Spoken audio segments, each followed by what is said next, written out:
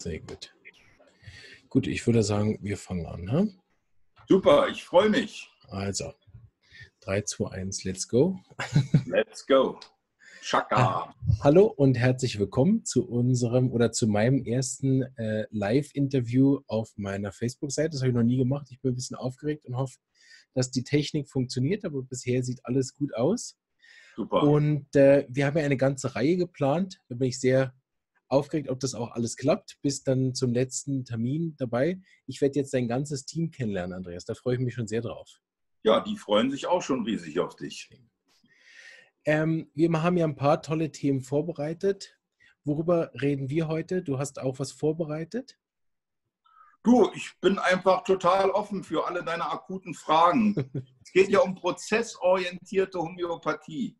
Genau. Und der Begriff Prozess bedeutet ja, dass man offen ist für alles und ständig bereit ist, alles, was ist, loszulassen, um sich ganz dem lebendigen Flow hinzugeben. Sehr gut. Dann fangen wir doch ganz homöopathisch an, und zwar Ja. mit dem Auslöser. Wie bist du auf prozessorientiert gekommen? Ja, jetzt verschwindest du gerade. Ach, da bist du wieder. Gut.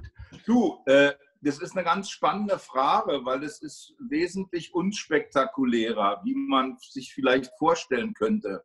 Es waren keine Channel-höherer Welten und es waren auch keine tiefen philosophischen Überlegungen, sondern der Grund war, wir saßen eines Tages mal zusammen, der Hans-Jürgen 18 und die Maria Schäfken beim Essen und wir unterhielten uns darüber, dass wir immer wieder kritisiert wurden dafür, dass wir angeblich keine klassische Homöopathie machten. Mhm. Was ja eine ulkige Kritik ist, weil ich meine, ich habe klassische, was ist klassische? Im Mhm. herkömmlichen Sinne kentianische Mhm. Homöopathie lernt, weil so wie Hahnemann Homöopathie betrieb in den letzten Pariser Jahren, das wussten ja vor 30 Jahren die wenigsten, ja. Mhm.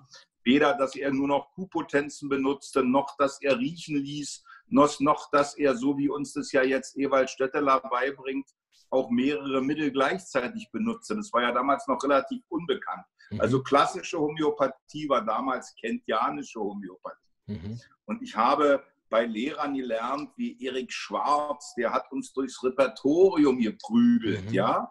Also ich kenne das noch an einem Wochenende 25 Fälle mit dem Mhm. Kennzel repertorisieren, mit riesigen Repertorisationslisten und Häkchen machen. Und später kam dann die Leersche Lochkartei dazu. Mhm. Und leicht wurde es eigentlich erst leichter. Es ist ja nie ganz leicht.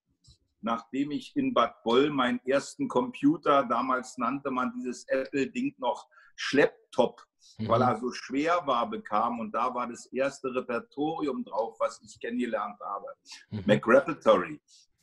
Aber äh, ich habe das ja auch ganz viele Jahre gemacht, Mhm. dass ich ganz, ganz klassisch kentianisch gearbeitet habe. Mhm. Wobei ich sagen musste, mein allererster Kontakt zur Homöopathie ging über Matthias Dorci, der ja äh, in dem Sinne kein klassischer Homöopath war, weil er ganz viel mit bewährten Indikationen arbeitete. Er arbeitete auch meistens mit mehreren Mitteln. Mhm. Bei Dorci fast so wie bei Stötteler, da hat sich so ein Kreis geschlossen, bekam fast jeder Patient sowas. Dorci nannte das nicht Miasma, Dorci nannte das Diathese, ein Mittel für die Diathese, für die angeborene Kranken, Krankheitsbereitschaft. Das war einfach miasmatische Ebene. Also so eine typische Dorci-Verschreibung wäre Tuberculinum D200 einmal die Woche. Äh, Dann hat der Patient immer wiederkehrenden Herpes, immer wiederkehrend unglückliche Liebe.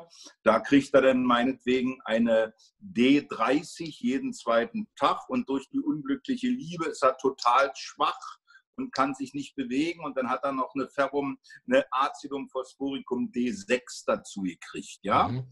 Also äh, da kannte ich ja schon auch eine andere Art von Homöopathie wie die kentianische, Ja. aber ich betrieb in meiner Praxis primär kentianische Homöopathie. Stundenlange Repertorisation, also Mhm. wie da irgendwie sechs Erstanamnesen geschafft hätte, wie heute mit Computer natürlich. Mhm. Ich repertorisiere ja immer noch bei jedem Patienten, Ja. auch wenn es die Gerüchte gibt, der Krüger äh, erträumt seine Mittel nur. Das stimmt ja nicht. Also meine, meine Formulanten sind immer wieder überrascht, dass ich mit mindestens zwei Repertorien und meinem Computer, den ich auf dem Handy habe, in den Anamnesen sitze. Mhm, ja? ja?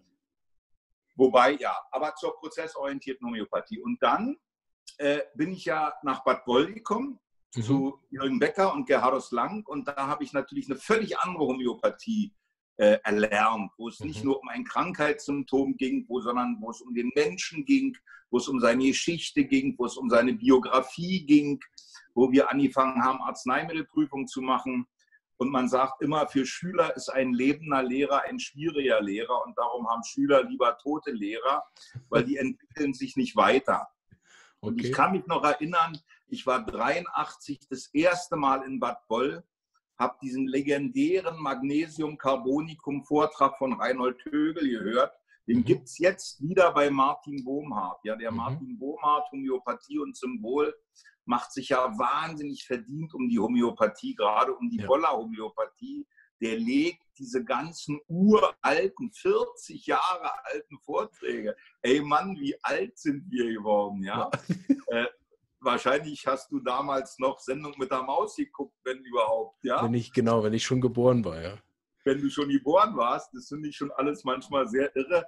Martin hat jetzt gerade zur Corona-Krise äh, die Bryonia-Vorträge aus Bad Boll wieder mhm, aufgelegt. Habe ich gesehen, ja. Wo wir eine riesige Bryonia-Prüfung gemacht haben. Ganz spannend, kann ich allen wirklich nur empfehlen. Ja, aber weiter. Und dann hat sich die Homöopathie verändert. Und wie schon gesagt, lebendige Lehrer sind schwierig. Ich weiß, ich bin von meinem ersten Homöopathie-Seminar aus Bad Boll in die Samuel-Hahnemann-Schule gekommen. Meine Schüler saßen vor mir und ich habe sie angeguckt und habe gesagt, liebe Freunde, ab heute machen wir alles ganz anders. Und die, ich habe gesagt, jetzt packt ihr mal eure Repertorisationsbögen alle weg und ich stelle euch hier mal einen Fall vor und ihr sagt mir mal, was fühlt ihr, wie resoniert ihr, was für Bilder kriegt ihr. Und die dachten alle, der Alte ist unter Drogen. Ja. War irgendwie Bad Boll ein Hippie-Camp. Pilze, LSD, weiß ich was. Und es war schon für viele Schüler von mir schwierig. Und es gab auch Schüler, die haben sich dann von mir abgewendet, mhm. weil diesen Schritt von Kent zu Becker konnten viele nicht nachvollziehen. Und das mhm. haben mir dann auch so manche Leute als einen Verrat einer reinen Homöopathie, was immer das auch ist, Wahrscheinlich ist das, was uns Stötteler jetzt beibringt, viel hahnemannischer wie das, was Kent gemacht hat. Aber darum geht es mir nicht. Ich will verbinden, ich will nicht trennen. Na, jedenfalls wurden wir dann immer wieder attackiert. Ja, ihr macht keine klassische Homöopathie, ihr, ihr macht keine klassische Homöopathie. Und dann saßen wir beieinander und ich will jetzt keine Legenden hier konstruieren, aber ich glaube, in diesem Nachdenken, damit wir uns nicht immer wehren müssen dafür, dass wir keine klassische Homöopathie nennen. Vielleicht nennen wir das anders. Wir wollten es mhm. aber auch nicht Boller-Homöopathie nennen, ja. weil wir machten zwar äh, auch ganz viel Boller-Homöopathie, aber wir hatten natürlich auch unsere eigenen Impulse. Der Hans-Jürgen hat einen ganz starken psychotherapeutischen Hintergrund. Der kam aus dieser Bewegung mit der dynamischen Psychiatrie, Balengruppen, Schattenarbeit. Ich hatte damals meine ersten auch spirituellen Erfahrungen. Ich war in Rütte, initiatische Therapie, ich machte Zen und sowas alles. Und äh, wir waren schon Boller. Ich sage immer heute, ich bin der letzte Boller, weil alle anderen machen teilweise was anderes. Der eine ist jetzt Sankaranianer und der Jürgen Becker, der leider viel zu früh verstorben ist, hat ja nachher strenge äh, C4-Homöopathie gemacht. Mhm. Und ich weiß gar nicht, ob es noch einen gibt, vielleicht den Hans-Jürgen, äh, der noch wirklich, ich arbeite ja primär noch so wie vor 40 Jahren in mhm. Boll. Ja. Äh, nur noch mal ein Wort zu Boll. Als klassischer Homöopath hatte ich ja immer so Anamneselisten. Ich mhm. habe wirklich so Fragen, also erstmal kam der Spontanbericht, alles klar, super. Und dann bin ich so meine Liste vorgegangen. Ja. Und in Bad Boll war das so eine Regel, dass der Jürgen sagte, seine Dozenten sollen auch Anamnesen machen, pora publicum. Ja? Mhm. Also da saßen 100 Leute, da saß der Patient vor uns, saß die Riege unserer etwas glykopodischen Kollegen, so unter dem Motto, dieser Jungspund Krüger, was will der hier? Jetzt macht der hier noch eine Anamnese die ich nur gemacht habe, weil sich die anderen nicht gemeldet haben. Mhm. Äh, als Jürgen fragte, wer macht denn Anamnesen, weil damit machte man sich auch verletzlich. Genau. Man musste sich natürlich zeigen und das vor Genau. 150 Leuten und dennoch die Kollegen und dennoch die Meister. Ja. Aber da ich immer alles mache, was meine Meister sagen, da bin ich halt calciumcarbonischer, pulsatillerischer, lacaninischer Doppelkrebs. Habe ich gesagt, na gut, Jürgen, ich mache die. Und dann saß ich da vorne, hatte meinen Anamnesebogen in der Hand und der Jürgen war ja ein, ein, ein sulfurischer Lehrer, ja, Mhm. der manchmal auch so, so didaktisch hochwertvoll und so ein bisschen triezte. Und mit einmal griff der nach vorne und riss mir den Anamnesebogen aus der Hand. Mhm. Und ich saß das erste Mal vor einem Patienten ohne Anamnesebogen. Was soll ich machen? Was soll ich machen? Was soll ich machen? Und dann sagte Jürgen nur, führt ein Gespräch. Mhm. Und in dem Moment hat sich meine Anamnesetechnik verändert. Ja. Ich arbeite keine Anamnesebögen mehr ab, äh, sondern ich arbeite natürlich ganz streng mit einem spontanen Bericht. Da stehe ich total. Das ist ja fast freudianisch, fast analytisch. Das ist ja eine Sprechkur. Ich Mhm. erlebe in der Homöopathie ganz viele Ansätze auch aus der Psychoanalyse, weil Freud sagte ja, der Therapeut soll sich förmlich aus sich selber denken und eigentlich wie so ein Beobachter nur sein für das Geschehen. Und der soll ein Gefäß bilden, eine Schüssel, in die sich die Seele des Patienten hereingießen kann, um sich selbst zu schauen. Ich glaube, Placebo-Vorwurf können wir ja vergessen.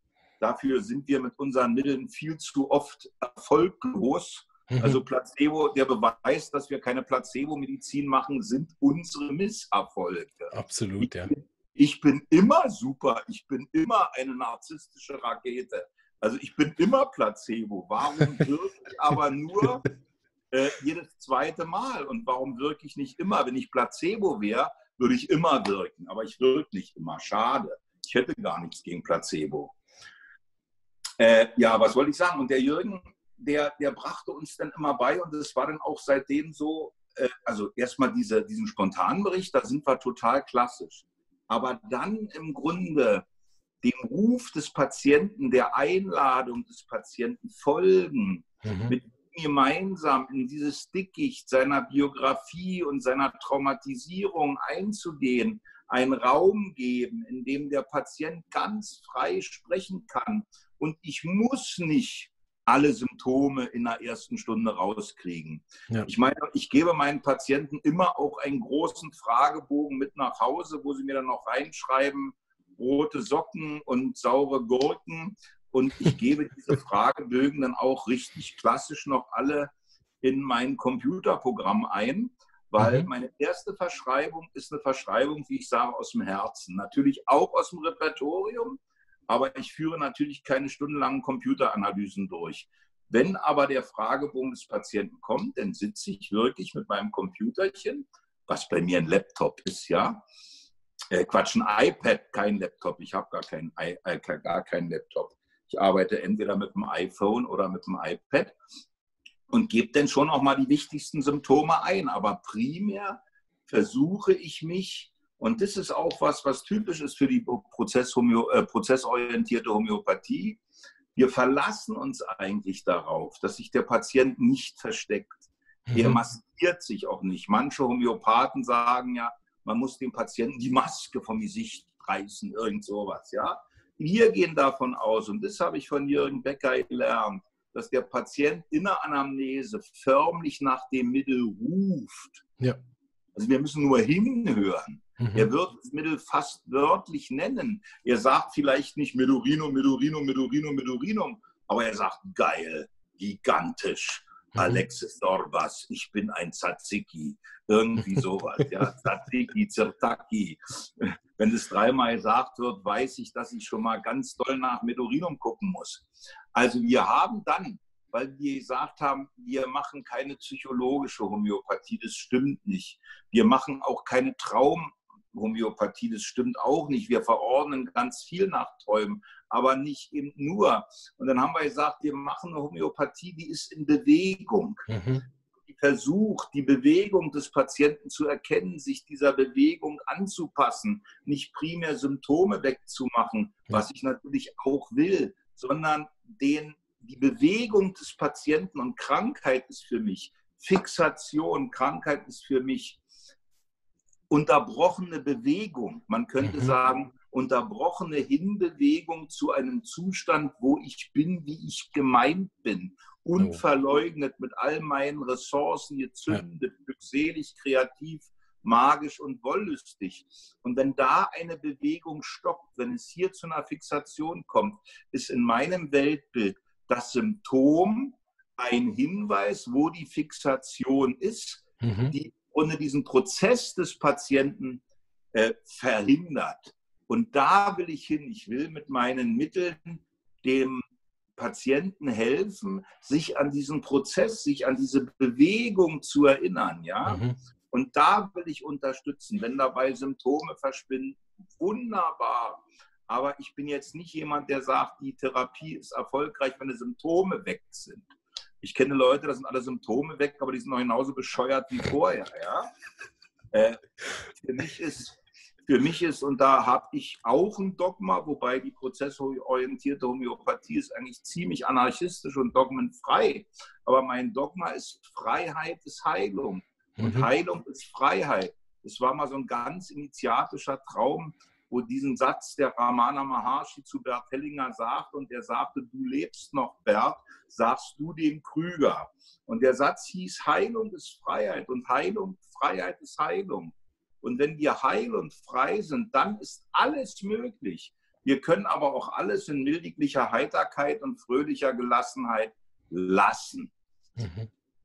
Und das ist das, was ich will. Und da haben wir uns dann eben geeinigt. Wir nennen es prozessorientierte Homöopathie. Ich Mhm. habe mich später in den Jahren danach ganz viel mit Gestalttherapie von Friedrich Perls beschäftigt. Vielleicht würde ich es heute Gestalttherapie nennen, ja, äh, weil es mir auch darum geht, Gestalten zu schließen, erledigte Geschäfte zu befrieden, loszulassen, dass wir wirklich in einen Zustand kommen, wo alles möglich ist, wo wir keine Fixationen haben. Ich könnte meine Homöopathie auch heute Körper, psychotherapeutische Homöopathie nennen. Ja. Aber der Prozess, und das finde ich so toll, ich hatte letztens mal ein ganz süßes Erlebnis, kommt ein älterer Kollege zu mir, Andreas, Andreas, ich verdanke dir, bum, bum, bum, oh, narzisstischer Input hoch 10. Und ich freue mich, ich freue mich. Ja, in Boll habe ich dich kennengelernt. Das hat meine ganze Homöopathie verändert. Habe alle deine CDs gehört, alles. Sag ich, boah, toll, freue ich mich. Schön. Und dann sagt er, ja, und ich mache seit 15 Jahren strenge prozessorientierte Homöopathie. Habe ich ihn angeguckt, habe ich gesagt, sei mir nicht böse, aber das geht nicht. Man kann nicht streng prozessorientiert sein, das kann man nicht. Man kann streng hahnemannianisch arbeiten Ja. oder streng konstitutionsorientiert oder streng organotrop, das kann man streng machen. Ja. Aber Prozess geht nicht streng, weil streng ist nicht Prozess. Streng Mhm. ist Fixierung. Streng ist Dogma und damit nicht prozesshaft. Ja. Das bedeutet, der prozesshafte Homöopath muss im Grunde bereit sein, wenn es dem Prozess des Patienten dient und seinem eigenen, das ist auch ein Unterschied. Ich kann kentianische Homöopathie machen, es gibt so eine Kollegen. Und ich habe nicht ein einziges Mittel bis jetzt genommen in meinem Leben. Ja? Ich war nicht in einer Supervision. Hörst du mich noch, Ja, Marvin? Ja, alles du gut. hörst mich, ja? Einfach weiter. Super. Und ich muss überhaupt keinen Prozess machen. Ich muss mich auch nicht verändern. Ich muss auch nicht gesund werden. Und trotzdem kann ich streng kentianische Homöopathie machen. Mhm. Prozessorientierte Homöopathie geht nicht streng und prozessorientierte Homöopathie geht nicht ohne eigenen Prozess. Okay. Ich meine, ich sage immer, ich bin der meisttherapierteste Mensch, den ich kenne. Ich sage nicht der besttherapierteste. Ja. Dafür habe ich noch zu viel machen. Aber ich bin mit Abstand der meisttherapierteste. es gibt fast keine Therapiemethode, die ich nicht kenne. Äh, Ja. Oft sind meine Therapien gescheitert, aber das eine oder andere hat sich dann doch irgendwann mal erledigt. Mhm. Und dadurch weiß ich, dass jeder Mensch andere Dinge braucht, um gesund zu werden. Jeder Mensch braucht auch andere Homöopathien. Ach ja, und der Jürgen Becker, das fand ich einen total tollen Satz von Jürgen Becker. Der hat mal gesagt, und wenn man mich fragt, sag mal den entscheidenden Satz zur prozessorientierten Homöopathie. Jürgen Becker hat gesagt, ein Therapeut kann seinen Patienten nur so weit begleiten und führen, wie er selbst einen Weg gegangen ist. Mhm. Also das heißt, Prozess bedeutet selbst Weg gehen. Und ich habe das auch mit den homöopathischen Mitteln erlebt. Ich habe ja in Boll zehn Jahre lang eigentlich keine eigene Therapie gemacht, mhm. sondern der Jürgen hat mir bei jedem Seminar einen Auftrag gegeben zur Erforschung eines Mittels und darüber habe ich dann einen Vortrag gehalten. Wir hatten ja mhm. zweimal im Jahr Bad Boll. Ich war zweimal 14 Tage immer in Bad Boll, einmal zu der Woche von Jürgen. Da war ich Dozent und dann habe ich als Gruppenleiter selbst eine Woche geleitet. Mhm. Das heißt, ich habe in jedem Jahr zwei große Arzneimittelprüfungen gemacht, was natürlich durch die Genialität meines Lehrers, der hat mir natürlich immer genau die Mittel vorgeschlagen, die für mich wichtig waren. Und mhm. ich habe aber gemerkt, bevor ich meine große Merkurprüfung gemacht habe, bevor ich durch meinen großen Merkurprozess gegangen bin, habe ich Merkur mal verschrieben für Angina mit Stippchen. Ja. Aber diese ganzen Themen, der innere Kannibale, der innere Zombie, die kannte ich gerade nicht. Stimmt was nicht mit unserer Verbindung, Marvin? Ja, bei dir, ist die, bei dir ist die Verbindung leider nicht so gut, zeigt er mir an. Aber du bist noch gut zu hören. So, mach einfach weiter, ja. Soll ich auf LTE umsteigen und aus dem WLAN rausgehen oder irgendwas? Also er zeigt mir bei dir an, dass du im gelben Bereich bist. Immer. Also hm. weiß ich, wenn du das Gefühl hast, es wäre im LTE besser, könntest du probieren zu wechseln, aber äh, den Ton überträgt Soll ich jetzt gut. während des Gesprächs einfach mal wechseln? Ja, mal gucken. Du, ich kann es probieren. Sonst kommst du einfach wieder rein. Gut, ich probiere mal. Warte.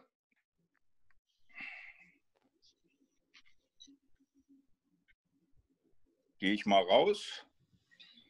WLAN ausgestattet. Warte. Wo muss ich jetzt wieder hin? Ich trete mal einfach wieder bei. Genau. Ich sehe mich, ich sehe aber dich noch nicht. Jetzt sehe ich dich, jetzt sehe ich uns. Besser jetzt? Mhm. Die Telekom, sie lebe. So, jetzt, jetzt hat er eine bessere Internetverbindung. Aber das andere war, hat er trotzdem aufgenommen, ja? Ja, ja. Der, der Ton war immer gut zu hören. Super. Ja, das zum Thema prozessorientierte Homöopathie. Sehr gut. Also ich, da sind ja ein paar Sachen, wo man einhaken könnte.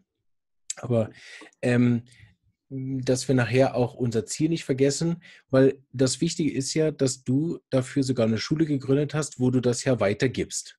Ja. Die ja immer noch existiert, die Samuel Hahnemann Schule in Berlin. Ja. Wie, ähm, da gibt es ja eine Ausbildung, wo man das denn genauso lernen kann. Einerseits denke ich, diesen eigenen Prozess zu machen, aber andererseits den dann eben beim Patienten auch zu sehen und zu begleiten. Genau. Also einmal muss ich sagen, Marvin, ich habe diese Schule mitgegründet. Ich habe die okay. nicht allein gegründet. Mhm. Ich war damals irgendwie ziemlich verrückter, 29 Jahre alter Hippie und äh, hatte einen ganz, ganz tollen Freund, den Friedbert Käbisch-Isenbügel, der auch heute ein wahnsinnig guter Homöopath ist und Apotheker. Und der schlug mich dem Präsidenten unserer Berliner Heilpraktiker vor, dem Karl Friedrich Liebau, weil die mhm. Berliner Heilpraktiker gerade vorhatten, eine Schule zu gründen. Mhm. Und dann sagte der Friedbert, ey Mann, da kenne ich einen von meiner Heilpraktikerschule, der ist zwar ein bisschen irre und ein bisschen durchgeknallt, aber irgendwie macht der tolle Vorträge, hat und tolle Gedanken. Mhm. Und dann bin ich da eingeladen worden zu so einer Gründungssitzung und dann saßen da die ganzen alten Heilpraktiker, auch der Berliner Oberhomöopath, äh, ganz strenger Kentianer und ähnlich wie Kent, der ja Swevenborgianer war. Kent hatte ja ein bisschen rechtslastigen Guru, den Emanuel Swevenborg, sehr schwierige Person. Mhm. Und äh, die saßen da alle, der Kollege machte 40 Jahre Homöopathie und dann kam irgendwie hier Hula Hula Krüger an, in roter Bomberjacke und mit dem roten Ring, äh, Quatsch, mit dem roten Ohrring im Ohr und erzählte denen irgendwas von Menschenbild und initiatischer Therapie. Aber dieser Karl Friedrich Liebau, der fand mich irgendwie richtig klasse. Mhm. Und darum sagte der Andreas, zusammen mit einem sehr erfahrenen, auch wirtschaftlich sehr erfahrenen Kollegen, weil Wirtschaft ist etwas, ich kann kaum äh, richtig bezahlen, ja. Aber äh, sagte der Andreas, ich mache dich hier mal zum Politkommissar. Du bist für die Ideologie dieser Schule zuständig und äh, ja, leg mal los. Und dann dachte ich, jawohl, wir machen hier Boller Homöopathie. Sprich, wir machen hier eine ganz lebendige, wobei zum Anfang haben wir ja noch streng kentianisch gemacht. Boll kam ja erst zwei Jahre später. Und dann habe ich diese Schule mitgegründet. Und inzwischen haben wir seit, wir sind jetzt bei Kurs 37 und mhm. haben inzwischen Hunderte von Heilpraktikern in die Welt hinaus entlassen, wo die da ihr segensreich machen, äh, ihr segensreiches Arbeiten machen können. Und wir bilden nicht nur in Homöopathie aus, wir bilden auch in chinesischer Medizin aus, mhm, ich gesehen, qualifiziert in Naturheilkunde, generell in Leibarbeit, in Körperpsychotherapie. Aber die Homöopathie ist schon unser absoluter Schwerpunkt. Ich weiß gar nicht, ob es noch einen Ort auf dieser Welt gibt, vielleicht irgendwelche Universitäten noch in Mexiko oder Argentinien oder Indien, wo du so viele Stunden Homöopathie lernst. Ja? Gucke mal, unsere Schüler haben jede Woche oder jede zweite Woche fünf Stunden Theorie. Mhm.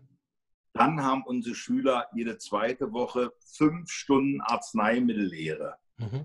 Dann haben unsere Schüler jede Woche Supervision, wo die eigenen Prozesse angeguckt werden. Mhm. Dann haben unsere Schüler die Möglichkeit, von Anfang an zu Anamneseübungen zu gehen, die unsere Sarah Riedel anbietet. Unsere Schüler haben von Anfang an die Möglichkeit, in unser Schulambulatorium zu gehen, wo mhm. man wirklich für wenig Geld hochqualifizierte Therapie kriegt.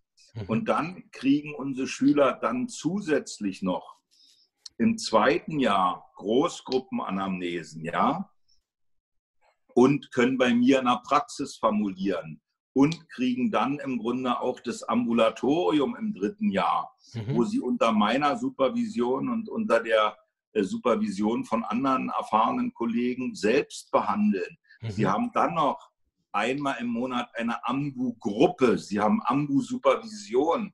Also das ist wirklich ein Homöopathiestudium, was aber den eigenen Prozess ganz in die Mitte des Themas stellt. Mhm. Also wenn es irgendwann bei uns mit einem Patienten mal nicht so läuft, wie wir wollen, dann gucken wir natürlich auch, haben wir nicht das richtige Mittel. Aber wir gucken auch, was macht denn das mit mir? Wo bin ich da?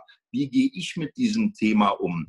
Wenn der immer von Kannibalen träumt und ich immer nur Angst kriege, dass er mich gleich anbeißt, dann kann ich ihm nicht helfen, seinen inneren Kannibalen zu nehmen. Mhm. Wenn ich aber dieses Thema der Gewalt, Stramonium, Merkur, Acidum nitricum, Acidum fluoricum in mir angeguckt habe und in mir integriert habe, dann kommt der Patient und erzählt mir mit einmal ganz anders davon. Mhm. Ich habe das ja ganz oft erlebt, dass Patienten zu mir kommen und sagen, Herr Krüger, ich war schon ein paar Jahre in homöopathischer Therapie, hat aber nicht so richtig geholfen. Ich habe äh, meinem Patienten, meinem Therapeuten aber auch nicht äh, erzählt, dass ich schon seit zehn Jahren ein Liebesverhältnis mit meinem Goldhamster habe.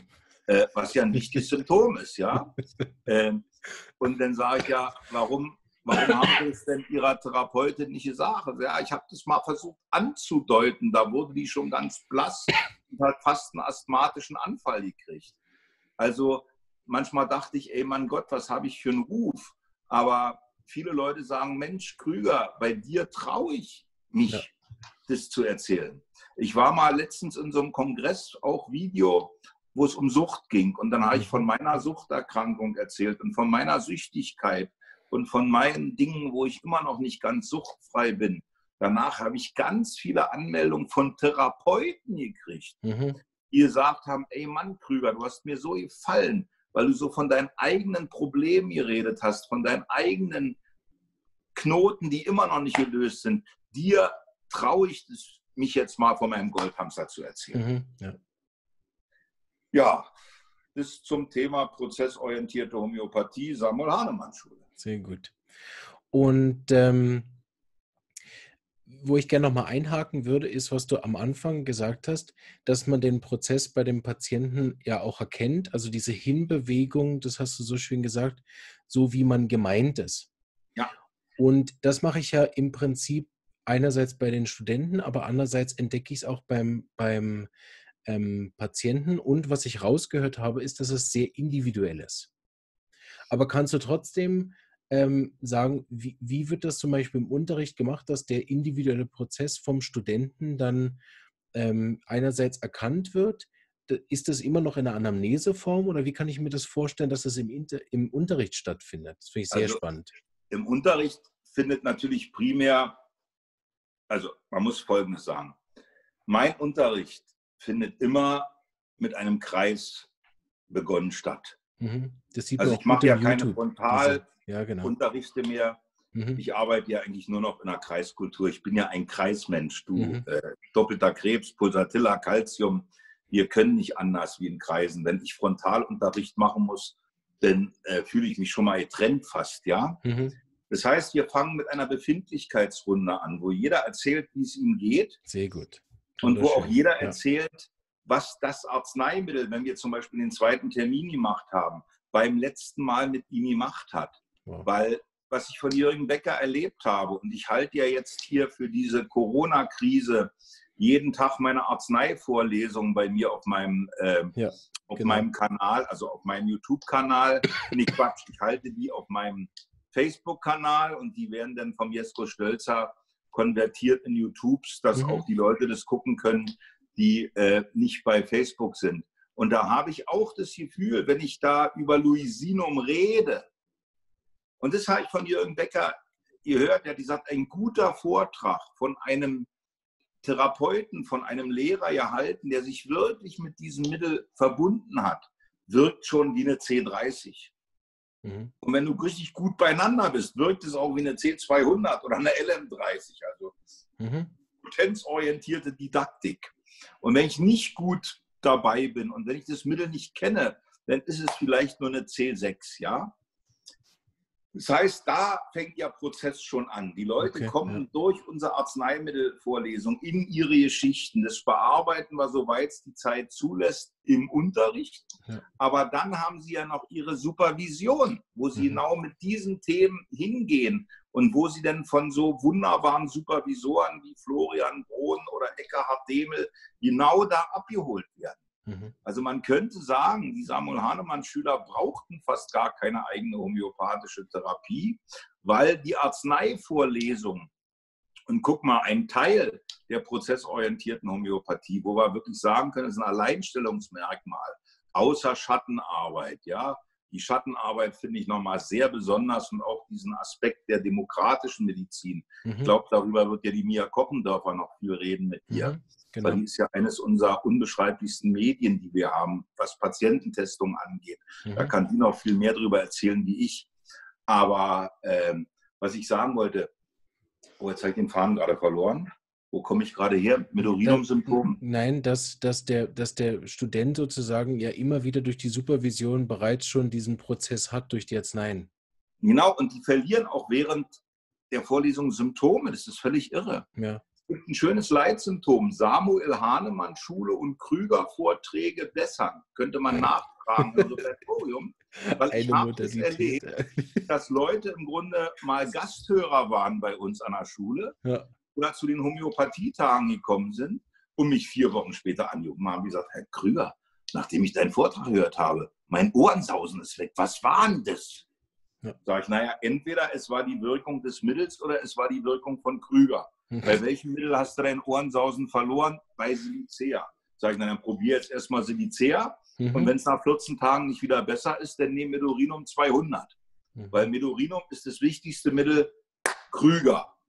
Entweder Krüger macht Asthma und Krüger macht Übelkeit. Dann geht es um den medorinischen Krüger Schatten. Ja. Krüger sieht ja heute auch aus wie eine Orange. Ja, äh, oder Krüger heilt mhm. dann ist das auch oft Medurinum. Ich meine, es gibt noch andere Mittel in dem kleinen Repertorium, Folgen von Krüger, ja? Okay, ja. Äh, oder äh, Besserung durch Krüger. Da gibt es noch Pulsatilla, Calcium, Laclupi.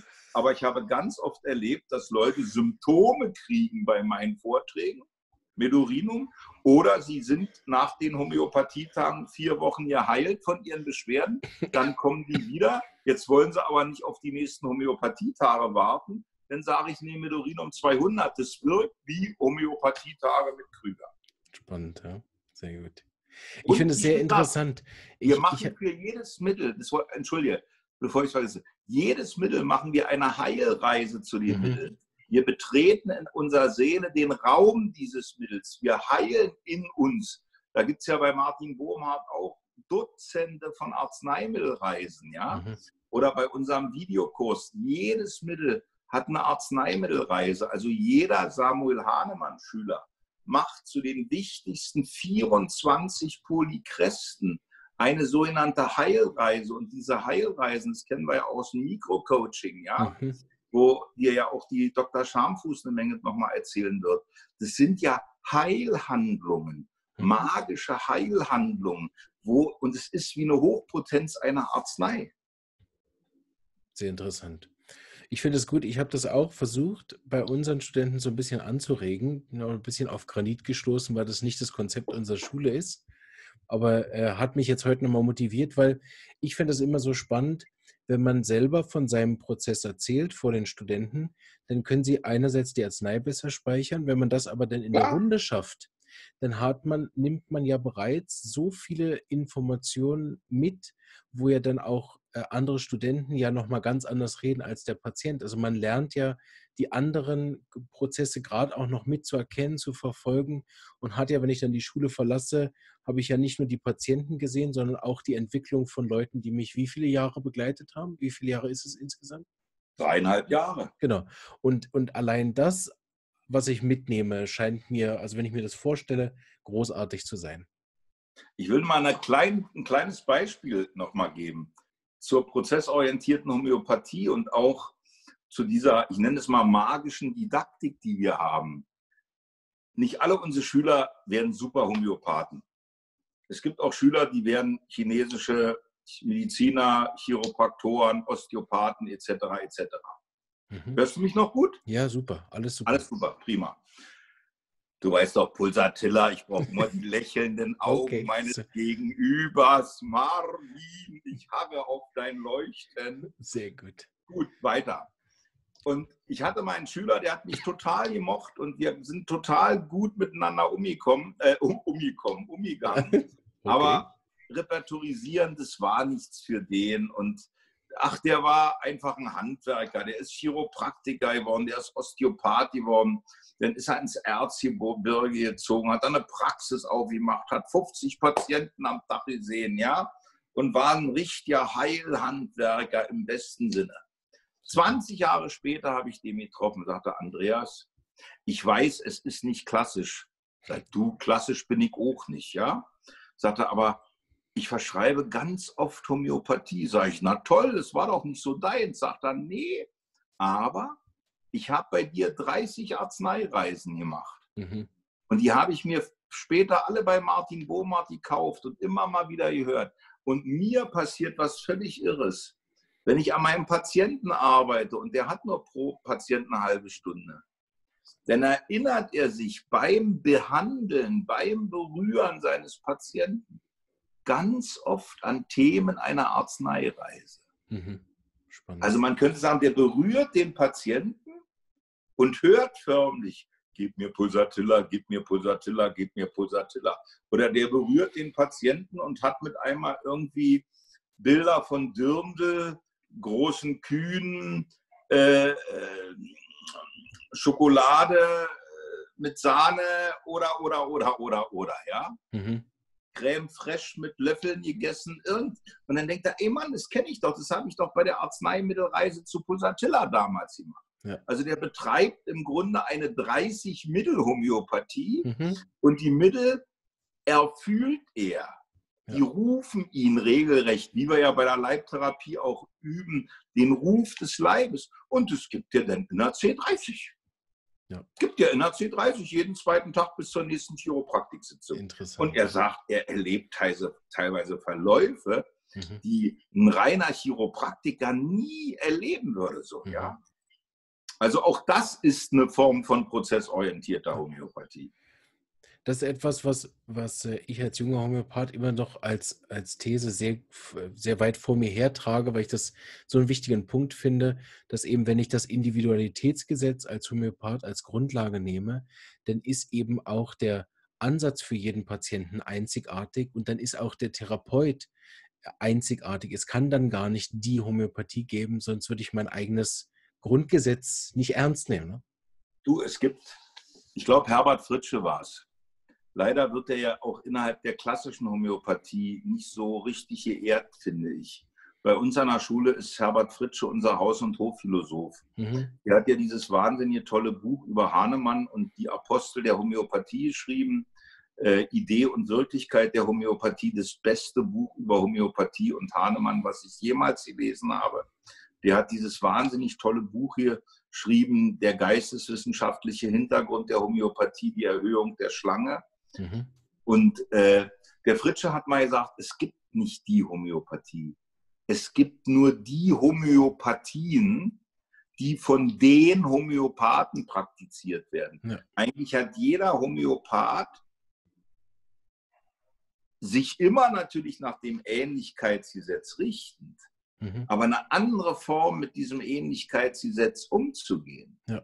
Und das finde ich so toll und das lehren wir bei uns an der Schule. Und das Interessante ist, wir haben ja an der Schule äh, sechs Homöopathiedozenten mhm. äh, und jeder ist da völlig anders. Mhm. Also Schön. ich bin wahrscheinlich noch der bollerischste von allen. Und dann haben wir eine Kollegin, die Brigitte Kramp, die sehr strukturiert ist und auch sehr, die hat auch zehnmal so viele Homöopathiebücher gelesen wie ich, ja. Mhm. Äh, und sehr im Anführungsstrichelchen klassisch, aber trotzdem prozessorientiert ist. Ja. Und dann haben wir die Ulrike Müller, die eine der intuitivsten Therapeutinnen ist, die ich jemals erlebt habe, ja, die Mittel regelrecht erfüllt. Und so haben wir eben eine Menge Kollegen, die sehr unterschiedlich sind. Michael Antoni, der ja auch bei dir jetzt demnächst auftritt. Ich kann euch sagen, der Mann ist eine Sensation der ist auch im positivsten Sinne eine richtig tolle Rampensau. Der hat nämlich auch einen total tollen äh, Podcast, kann ich sehr empfehlen, den Podcast von Michael Antoni. Ist mhm. auch immer auf meiner Seite drauf. Äh, also der macht zum Beispiel ganz viel, da kommt ganz viel Astrologisches, ganz viel Schöpferbewusstes mit rein. Mhm. Sarah Riedel hat wieder ihre eigene Form, sehr systemisch, weil sie auch eine tolle Aufstellerin ist. Mhm. Und äh, so hat, hat jeder Dozent an der Samuel Hahnemann Schule sein ganz eigenes. Manchmal sagen die Schüler, ey Mann, ihr erzählt ja teilweise das ganze Gegenteil. Nein! Natürlich wäre es für einen Schüler manchmal leichter, wenn es eine dogmatische Meinung gibt und alle halten sich nach dieser dogmatischen Meinung. Ja? So Arsenie Homöopathie. Aber das geht eben gar nicht bei einer lebendigen Homöopathie. Mhm. Jürgen Becker hat immer gesagt, das Leben hasst jedes Schema, aber oft geht es mit Schema bequemer. Ja. Und ich meine, das erleben wir jetzt ja gerade bei dieser Krise oder wir erleben das ja ganz oft in der Schulmedizin. Es gibt eine Richtlinie und wenn ich mich nach der Richtlinie halte, dann bin ich relativ schuldlos. Mhm. Weil wenn ich der Richtlinie folge, ich gebe jetzt das und das Antibiotika, ich gebe jetzt das und das Psychopharmaka, ich schicke hier halb Deutschland erstmal in die Quarantäne, dann halte ich mich ja an die Richtlinie. Ja. Selbst wenn dabei irgendwie 100.000 Tischlerbetriebe den Bach runtergehen. Egal, ich habe mich an die Richtlinie gehalten. Genau. Wenn der Patient unter Antibiotika stirbt, nicht schön, aber ich hatte mich an die Richtlinie gehalten. Ja. Wenn ich nicht Antibiotika gebe, sondern Belladonna C6 und der Patient stirbt, habe ich Probleme und habe vielleicht gleich einen Regress, ja? Mhm. Also ganz viel wird gemacht aus Angst. Es könnte etwas Böses passieren, wenn ich mich nicht an die Richtlinie halte. Mhm. Also in der Medizin wird ganz oft aus Angst agiert. Ja. Und in einer prozessorientierten Homöopathie und da machen wir uns auch angreifbar. Wir entwickeln uns auch selbst. Ey Mann, ich bin doch das beste Beispiel. Äh, mit einmal kam vor drei, vier Jahren Ewald Stötteler in mein Leben. Und der Mann hat mich total beeindruckt. Ich bin wahrscheinlich inzwischen fast hahnemannischer wie die meisten klassischen Homöopathen, weil ich mich am Hahnemann der Pariser Zeit orientiere. Ja. Aber selbst im System Stötteler wo ja fast jeder Patient ein Mittel kriegt für die chronische Ebene, also eine Nosode, ja. fast jeder Patient ein Reaktionsmittel kriegt, wähle ich trotzdem das Mittel in der Mitte fast immer nach den Gesetzmäßigkeiten, die wir in einer prozessorientierten Homöopathie haben. Ja. Und dann kommt natürlich noch ein ganz wichtiger Punkt zur prozessorientierten Homöopathie, wo euch ja die Mia Kochendorfer ganz viel erzählen wird. Äh, und das ist das, was wir demokratische Medizin nennen.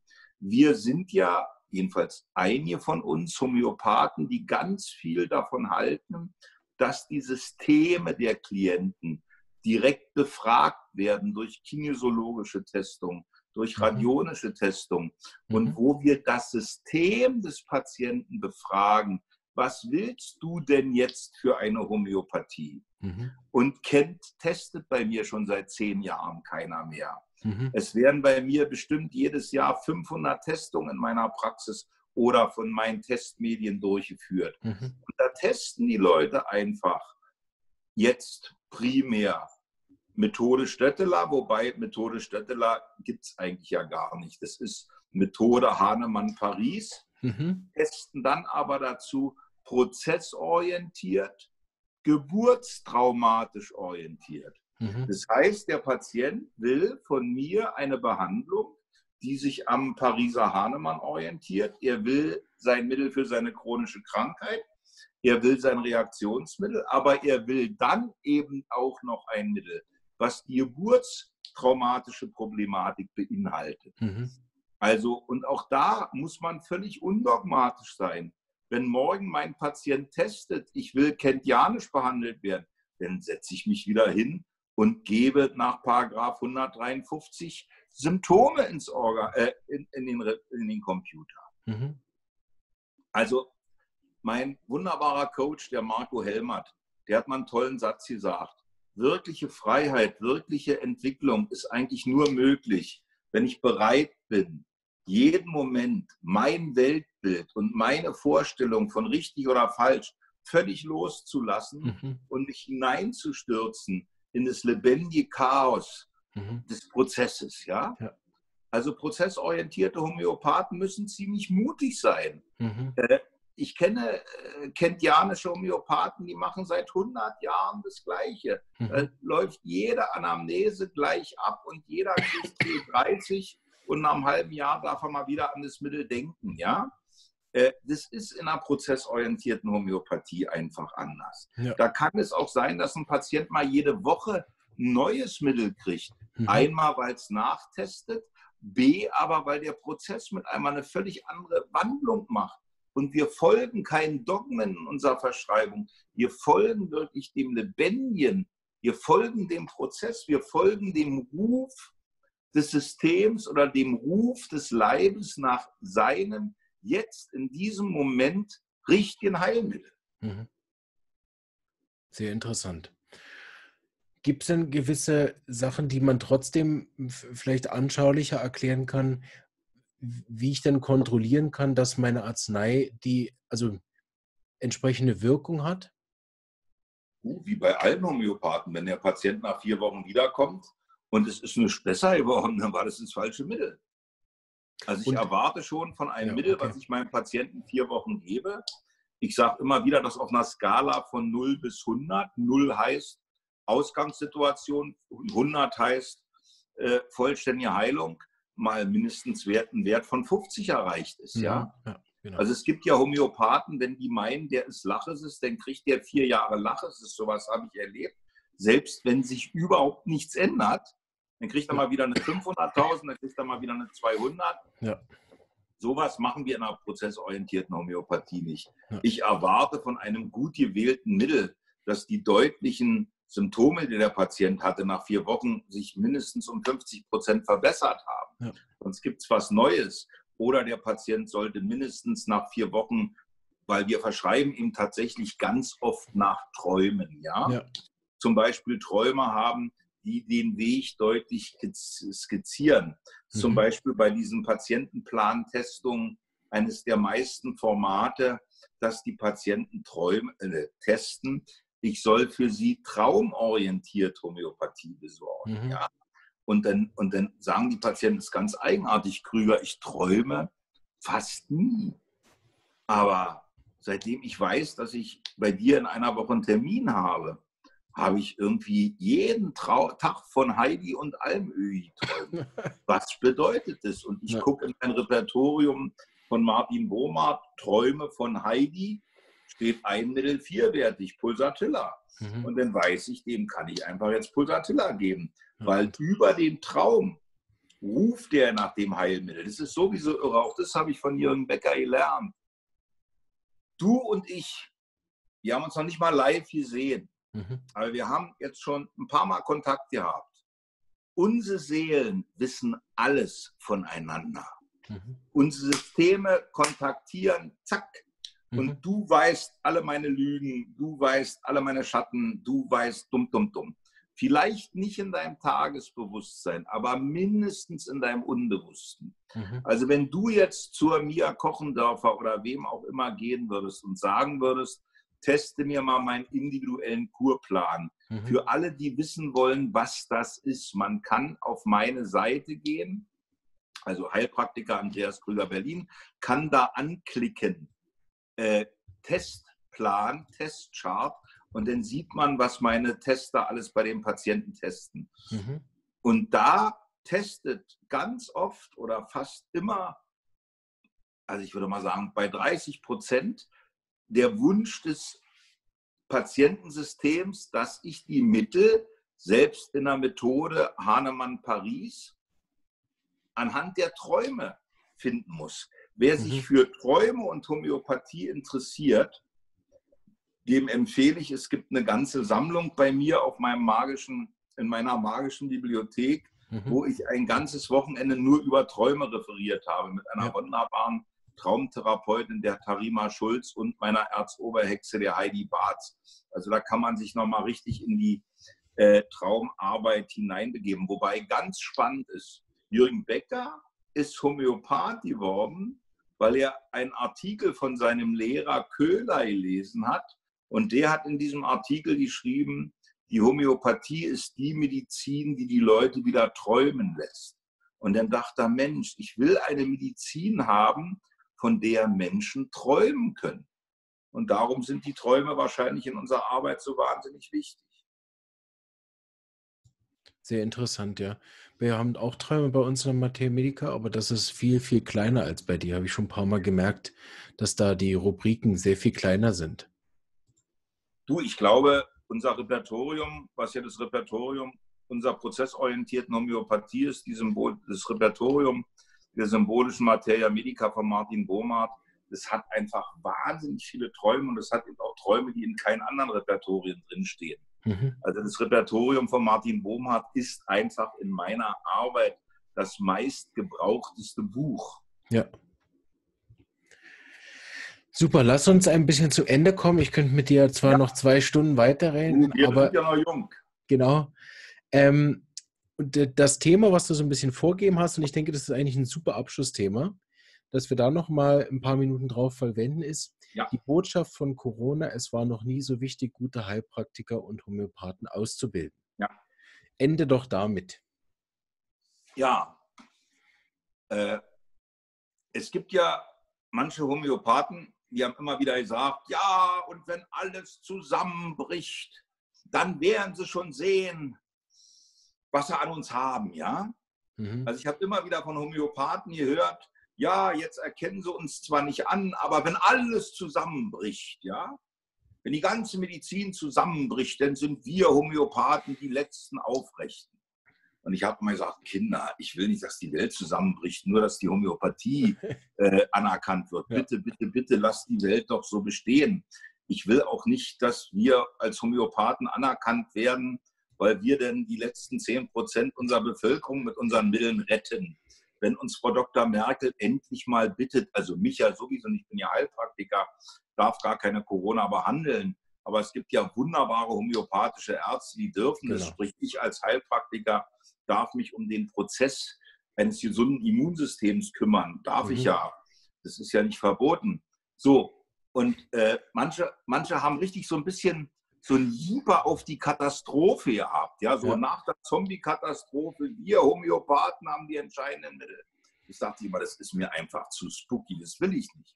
Nee. Aber meine Hoffnung, meine Hoffnung, mein Benefit, und darum ist Corona für mich fast ein Guru, ein Lehrer ist, dass es nie wieder eine Zeit geben wird, wo keine Delfine im Lido von Venedig mehr schwimmen, mhm. weil das finde ich wirklich irre. 14 Tage Corona und es schwimmen wieder Delfine in der Bucht von Venedig. Mein Gott, ist das schön, wie schnell sich unsere Mutter Gaia erholt. Da mhm. waren schon 100 Jahre keine Delfine mehr. Ja. Mit einmal sind die wieder da.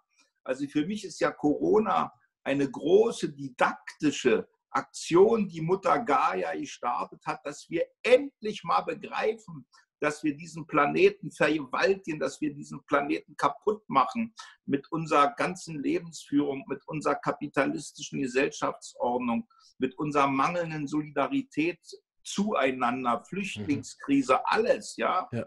Corona zeigt, ihr könnt eure Grenzen nicht abriegeln. Ich komme überall durch.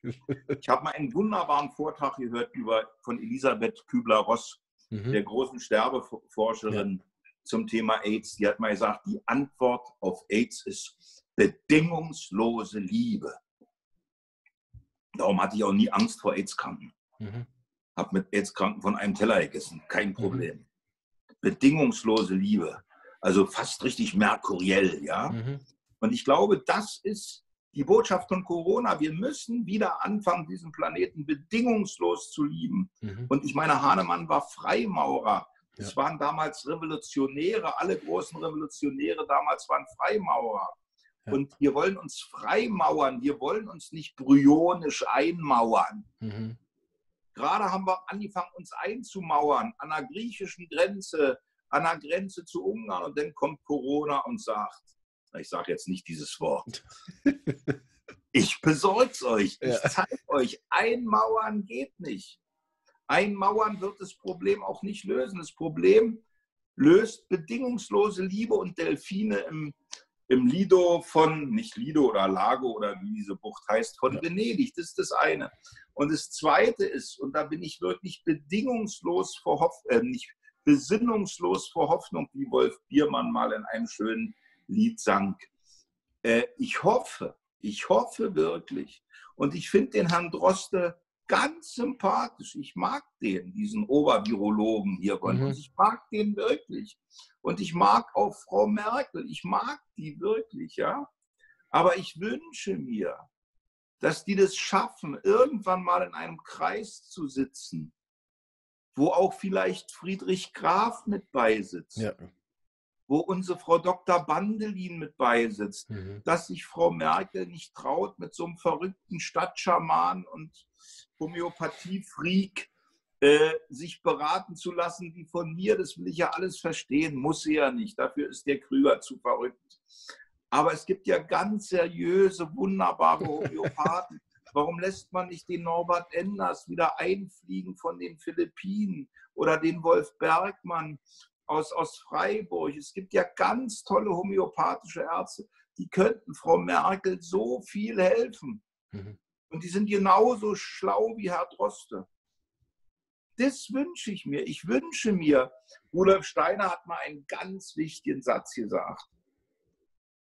Und der ist für mich die tiefste Hoffnung. Und ich versuche wirklich, ich versuche, um die Wirklichkeit, um das Wirklichkeitsverständnis von Herrn Spahn zu ringen. Ich versuche auch, um das Wirklichkeitsverständnis von Herrn Söder zu ringen. Weil ich weiß, Liebe und Freiheit entsteht nur da, und das ist jetzt der O. Steiner Text, wenn wir um das Verständnis des fremden Wollens ringen. Mhm. Und im Augenblick erlebe ich, hier sind die Zahlen, ihr seid alle schwachsinnig. Und wer irgendwas gegen diese Zahlen sagt, ist ein potenzieller Massenmörder. Mhm, ja. Und man sieht ja, wie Leute, die außerhalb des Mainstreams stehen, sofort die Keule kriegen. Ich traue mich schon gar nicht, sowas teilweise zu liken. Ich bin Pulsatilla, ich bin Calcium, Ich will keine Shitstorms. Mhm. Ich habe mich darauf jetzt verlegt, nur noch an einer positiven Zukunft äh, zu arbeiten. Natürlich muss ich manchmal einfach was liken, weil ich Mhm. finde, ey Mann, es ist mutig, was der Mann sagt. Und selbst wenn es falsch wäre, es ist mutig.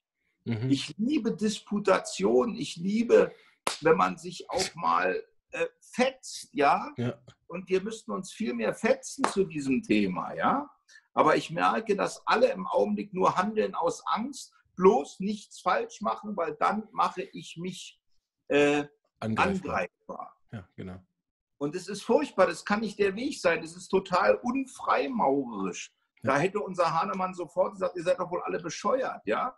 Also ich traue mich fast gar nicht zu sagen.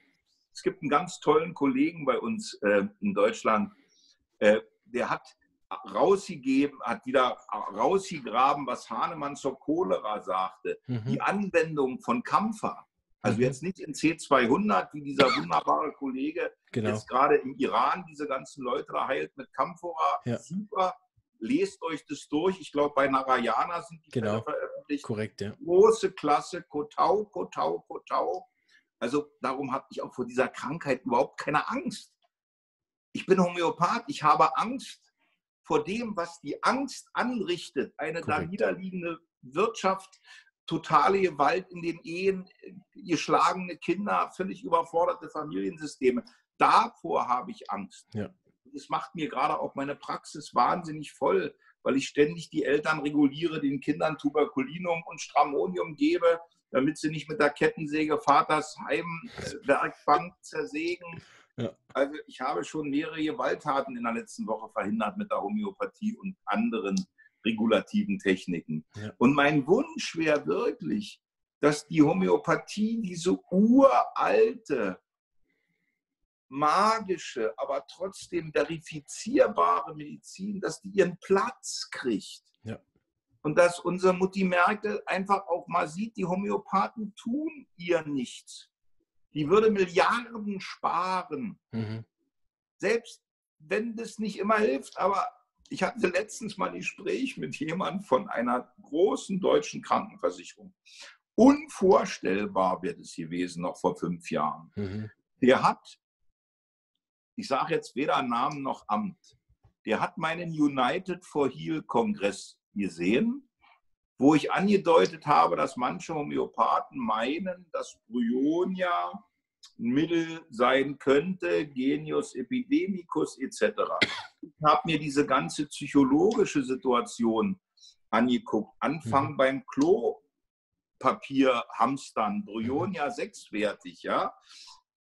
Und habe gesagt, ja, Bryonia fühlt sich gut an. Dann sagt er, naja, und könntest du denn mal zu so einer Sitzung da von unserer Versicherung oder von unserer Krankenversicherung kommen und es mal meinen Kollegen erzählen? Und wir könnten doch unseren Patienten kostenlos jetzt mal Bryonia C30 äh, zukommen lassen. Ich dachte, öffentliche Krankenversicherung? äh, hatte der eine Marienerscheinung? Nimmt der gerade Drogen? Nein, ich weiß, die sind hilflos und der hofft, dass das denen Milliarden erspart, was es wahrscheinlich so ja tun würde. Mhm. Wobei ich darf es ja nicht behandeln. Aber das wäre so ja Prophylaxe. Und dann habe ich aber gesagt, nee, nee, nee, nee, nee, nee, ruf mal beim Zentralverein homöopathische Ärzte an, lass dir dann kompetenten Kollegen sagen, der kleine Stadtschamane Krüger ist wahrscheinlich nichts für eine Beratertätigkeit bei so einer Krankenversicherung. Aber das wünsche ich mir. Ich meine, eins muss ich wirklich sagen. Das Schlimmste, was passiert nach Bryonia C30, ist, dass nichts passiert. Ja, genau. Wenn wir aber dadurch 20 Tage kürzere Quarantäne hätten, zehn Kinder weniger, die aus dem Fenster geworfen worden sind, 1000 Ehen weniger, die geschieden worden sind und vielleicht 100 Leute weniger, die an ihrer Lungenentzündung gestorben wären, dann wäre das doch der größte Segenszug, den die Homöopathie jemals gehabt hätte. Und was ganz lustig ist, die Idee von Hahnemann, die ist ja aufgenommen worden. Hahnemann hat ja richtig eine Schrift gemacht über die Anwendung des Kampfers bei Cholera. Mhm. Und bei der, das hat dieser Kollege ganz schön gepostet, dessen Frau näht jetzt Kampfersäckchen. Und dann haben die tatsächlich bei der spanischen Grippe sich so Kampfersäckchen umgehangen Und angeblich, jetzt sagt natürlich die Wissenschaft, da gibt es keine richtigen Statistiken drüber. Aber angeblich haben die, die diese Kampfersäckchen getragen haben, viel weniger schwere Grippen gekriegt wie die normalen. Also, ey Mann, da gibt es so viele Möglichkeiten. Ja. Und wir haben so tolle Homöopathen, großartige Homöopathen, anthroposophische Mediziner, chinesische Mediziner. Ich wünsche mir als Benefit dieser Erkrankung, dass die Delfine in der Bucht von Venedig bleiben, weil das wäre ein Zeichen, die haben was gelernt. Wenn die nach vier Wochen wieder weg sind, weil da wieder diese riesen Kähne kommt, dann kommt in einem Jahr der nächste Corona. Mutter Gaia hat die Nase voll, die sagt, ihr macht mir meinen Planeten nicht mehr weiter immer kaputt. Vorher schaffe ich euch ab. Und das Zweite ist, ich möchte, dass Herr Droste und einer unserer führenden Homöopathen oder mhm. Homöopathinnen ja. gemeinsam um ihr gegenseitiges, selbst wenn sie einen fremden Willen haben oder ein anderes wollen, dass sie beide darum ringen. Und ich finde den Droste so sympathisch, ja. Und sein Nachfolger in seinem Institut, wo er war, bevor er nach uns Berlin, der ist ein total toller, das sind tolle Menschen. Ich glaube nicht, dass das alles Pharmaagenten sind. Mhm. Ich glaube das wirklich nicht. Da gibt es ja die wildesten Verschwörungstheorien. Da würde ich mich sofort vor Herrn Droste stellen, würde sagen, ey Mann, du hast die Wahl der Waffen, aber du nimmst diesen Vorwurf gegen diesen Mann zurück. Ich halte Herrn Droste für total ehrlich und total seriös aber er hat seine Form des Denkens. Korrekt, und in dieser Form des Denkens kommen Kampferbeutelchen einfach nicht vor. Ja. Da kommt auch Camphora C30 nicht vor. Da kommt auch nicht Luisinum. Ich finde diese Erkrankung total luetisch. Was hier passiert, alles wird zerstört. Ja, ja genau. Äh, ey Mann, ja. das wünsche ich mir. Und wir das ist für mich der Heilungsschritt von Corona. Und mit allen Homöopathen, mit denen ich spreche, ist ja auch ganz klar, wir wollen ja auch nichts ersetzen oder, oder irgendwas dafür abschaffen, wenn wir mitarbeiten dürfen. Nein! Ne? Es würde ja nur schon reichen, wenn der Patient die exakt gleiche Behandlung bekäme, die er aktuell bekommt, plus. plus. Es geht ja nur um Plus, oder? Und es ist noch so kostengünstig, dass man nicht mal sagen kann, wir könnten uns das nicht leisten ich würde das umsonst machen. Korrekt, ja. Das kommt nur weißt dazu, du, ja. Weißt du, ich arbeite ja ganz viel mit Timelines. Das sind so mhm. schamanische Formate, ja, wo ich, ich in gesehen, Zukunft, ja, ja gibt es ja jetzt bei, und da habe ich, glaube ich, heute oder gestern habe ich eine Timeline gemacht zum 1.7. diesen Jahres. Corona-Krankheit ist überwunden. Und bei meinen Timelines gibt es an jeder zweiten Ecke eine homöopathisch chinesisch naturerkundlich radionisch begleitete Volksambulanz. Ja? Großartig. Mobil? Natürlich schicken wir die Erkrankten zu den Ärzten und ins Krankenhaus. Super. Bei uns im anthroposophischen Krankenhaus Havelhöhe haben sie eine wunderbare Corona-Ambulanz gemacht. Ja. ja. Aber wir könnten auch testen, brauchst du eine Vorbeugung? Ist für dich gut, Nelken zu lutschen oder nach Rosina Sonnenschmidt alle drei Stunden zwei Tropfen Eukalyptus zu nehmen? Oder ein Kampferbeutelchen. Die nähen unsere Engelwölfe und unsere SHS-Homöopathen gerne, ja? ja? Lasst uns drei Millionen Kampferbeutelchen verteilen. Und trotzdem können wir Antikörpertests machen. Korrekt, ja, genau. Ich finde es so schade, dass wir darauf verzichten.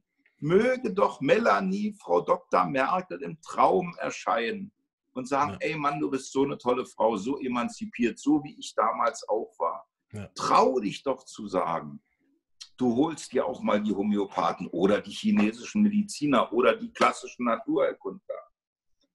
Einfach mit ins Boot, das wäre doch super. Das wäre super. Vielen Dank, Andreas. Es hat du, mir wieder gut getan, mit dir zu reden. Da bin ich immer hinterher wie so ein bisschen beschwingt. Freue ich mich. Ähm, Vidorinum C200, geschwingt nach Krüger. ich danke auch allen Zuschauern. Wir hatten relativ viele, Andreas, sage ich oh, dir nachher toll. noch. Es waren wirklich äh, einige dabei. Wir haben auch alle, der, vor zu Martin war dabei, der hat ein paar Links gepostet schon. Die sind auch fast alle da dabei, was wir erwähnt haben. Also auch allen, die zugeschaut haben, vielen Dank, dass ihr dabei wart. Das hat uns beiden sehr viel Spaß gemacht. Ich glaube, das hat man gemerkt. Fand ich total prima. Das Video bleibt auf dem Kanal für immer. solange Und der du kannst Kanal auch da ist. teilen auf meinen Kanal jetzt. Genau, du kannst es nachher noch teilen. Und es Super. wird auch für die Leute, die nicht im Facebook sind, nachher die Audioformat im Podcast erscheinen und ich werde das Video auf äh, YouTube hochladen, dann kannst du es da noch dir hinzufügen. Super, freue ich mich riesig. Danke an alle und äh, einen schönen Abend. Bis Ja, äh, und vor dir nochmal Chapeau, Chapeau, Chapeau für deinen Mut, mit Krüger so ein Video zu machen. gerne. Also, ciao, ciao, mach's Tschüss. gut. Ciao. So, ich gehe raus, ja? Marvin, Ja, tschüss. ich hau ab, ja? Ciao. Tschüss.